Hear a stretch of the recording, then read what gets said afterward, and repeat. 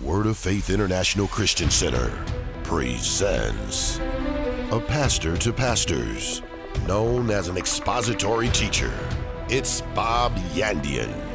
Coming to Word of Faith, Sunday, March 26th at 10 a.m. This same Jesus that you have crucified has now become Lord and Savior and risen from the dead.